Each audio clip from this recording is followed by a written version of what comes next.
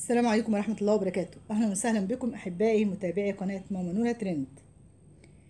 أعلن قصر باكنجهام وفاة الملكة إليزابيث الثانية ملكة بريطانيا عن عمر يناهز 96 عاما.